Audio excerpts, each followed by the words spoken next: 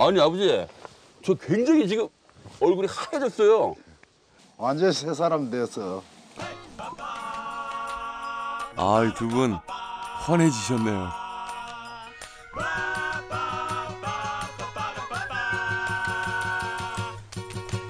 약이 되는 차를 만들려고 합니다. 이 나무는 집 옆에 심어놓고 먹는 건데요. 이게 무슨 가지예요? 이 산뽕나무라고 이게. 아 산뽕나무요. 예, 이, 이거 먹으면 당 오래 먹으면 어이구 당뇨에도 좋고 당뇨. 예. 어이 간에 모든 것 속에 이거를 달여 먹는 거예요 그러면요 아버지?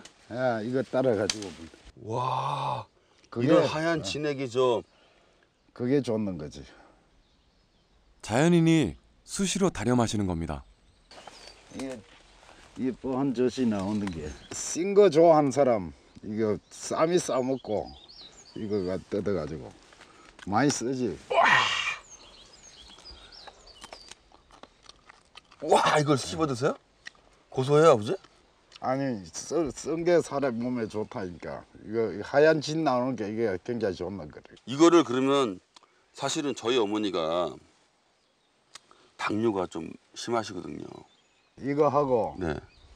아 담쟁이 넝쿨하고 담쟁이 넝쿨하고 돼지 감자하고 그래 삶아 가지고 자연솔 이파리하고 그래 가지고 때려 가지고 먹으면 그거 물 때는 계속 그 물만 먹어야 돼. 물 먹고 싶으면 어떻게 하셨어요? 차게도 있고 내가 삶아 먹어보고 이상이 없고 뭐 저거 효과가 있으면 이제 그, 네. 그래 해먹어라.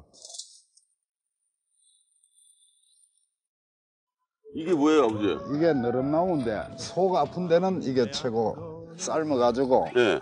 그 물로 먹으면 이 속에는 막 편안하게 밥을 아무리 먹어도 뭐 마른 밥 먹어도 속이 위에 부담이 한 개도 없고 산중 생활 40년. 산에 나는 것들에 대해서는 이미 도사입니다.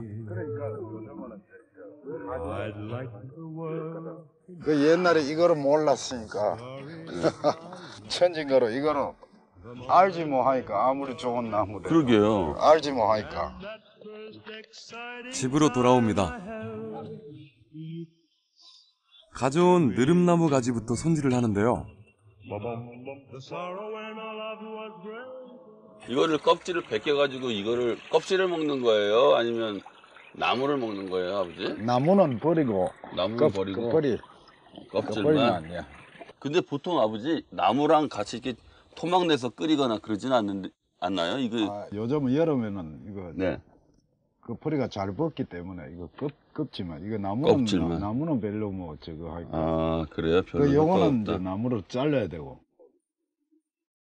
느릅나무는 껍질을 벗겨서 껍질만 쓰고 산뽕나무는 토막을 내서 통째로 쓴다는 겁니다. 이런 산골에 계시다가요. 좀 갑자기 좀 아프시고 그러면 어떻게 하세요? 아픈 거는 뭐 어디 이제 뭐 아픈 정도 봐가지고 그 뭐 감기 몸살이 뭐 그냥 여기서 예. 그냥 뭐 꿀 같은 거 이제 꿀. 예. 한 잔 다 먹고 이제 팍팍 끓여가지고 땀을 흘리고 자고 나면은 그냥 막 어... 그만한 감기는 다 떨어져 버려. 갑자기 내 몸에 이상을 느꼈을 경우에는 약간 두려울 것 같은데. 산초이라도 예. 119 부르면 다 오고 이래요. 예.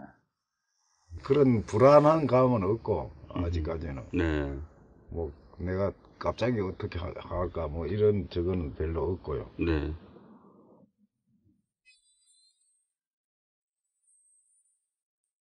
육십오 세의 나이에 홀로 산중에 사는 사람인데 불안한 마음이 아주 없겠습니까?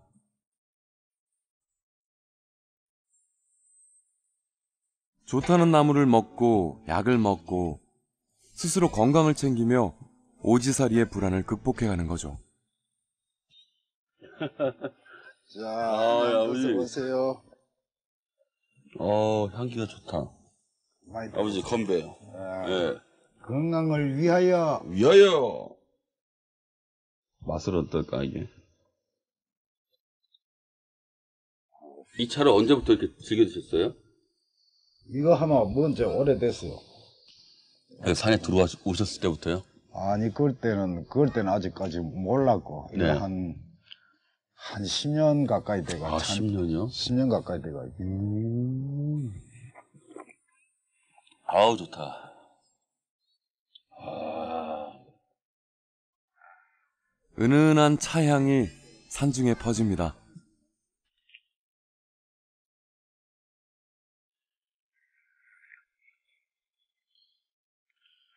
이것은 닭인데?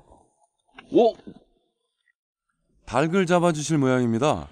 아버지, 근데 이거 닭 이렇게 키우면 계란, 예. 달걀 그거 드시는 거 아니에요? 아니야, 이거는 장딸기이기 때문에 계란 안 넣는 거래. 아, 그래요? 아. 그럼 그냥 잡아먹어도 되는 거예요? 아, 대- 잡으면 어도 돼. 아, 오늘 고기로 포식하겠네요. 그걸 뭐 하시려고요, 아버지? 아니, 이거 그, 구워, 구워 먹으려고. 닭 구이예요? 네, 닭구이. 우와. 도와주세요.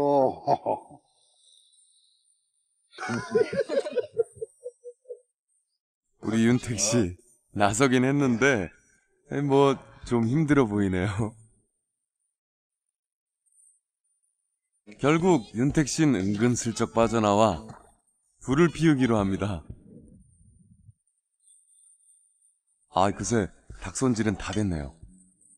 어저께는 저 산나물 이런 거 거의 채소로만 다 드시더니 저는 고기 안 드시는 줄 알았는데 가끔 이거 고기도 먹어줘야 되지. 안 아. 먹어주면 너무, 너무 단백질 다 빠져서는 안 돼. 아, 그 힘이 좀 없죠, 아버지. 빙빙 돌아가요. 빙빙 돌아가요? 빙빙 돌아가요. 역시 음식에 있어선 대충 하시는 법이 없습니다. 오늘 별미를 맛보겠는데요. 아, 지금 소리가 아주 그냥. 잘 익었네요.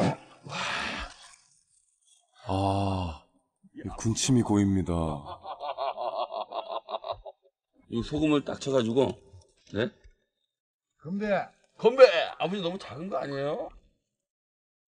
윤택 씨, 그 맛은 어떤가요? 이야!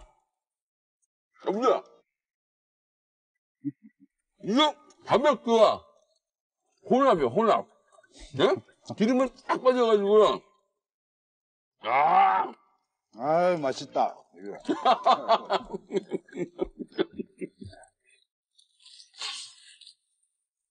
야!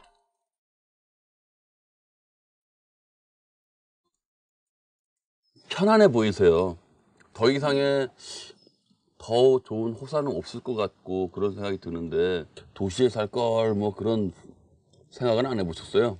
아 그런 생각을 안 해봤어. 그래요? 야 나는 언제나 이거 산에서 내 고향에서 살라고 딱 마음을 그래 먹어가지고 음, 막 시내도 가기 싫고 살아 볼수록 이제 이 자연이 역시 자연이 좋구나 그런 거로 많이 깨닫고 자연과 더불어 이래서 같이 살아가는 게 꿈이고 그게 행복합니다. 고독한 산중살이에 시련도 있겠지만 만족이 더 크기 때문이겠죠. 다음 날 아침 짧았던 여정이 끝이 납니다. 아이고 아버지 아, 이제 뭐 갈 시간이네요. 하면 벌써 가려고 더 놀다 가지 그래. 제 마음은 놀고 가고 싶어요 아버지. 좋은 약물 한병 가져가지. 약물이요? 예, 잘, 잘 쓰세요. 아우 감사합니다. 이게 또 귀한 이 약물을 또 갈게요 이제. 아, 그, 이 가는데 길이 멀은데, 네. 내가 조금 저까지 태워줄게. 아유 번거롭게 또 괜찮아요 아니, 아버지. 이거 무서타가 있으니까. 그럼 가까운 데까지만 태워 태워다 주세요. 조심해 타요. 네. 닭 잡아줄게.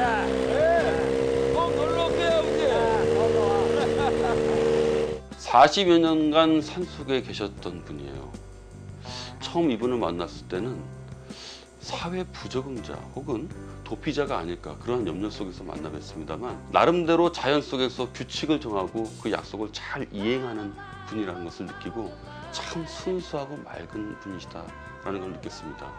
저도 함께 있는 시간 동안 제가 좀 더 순수해지고 더 깨끗해지는 그러한 시간이 아니었나 생각이 듭니다.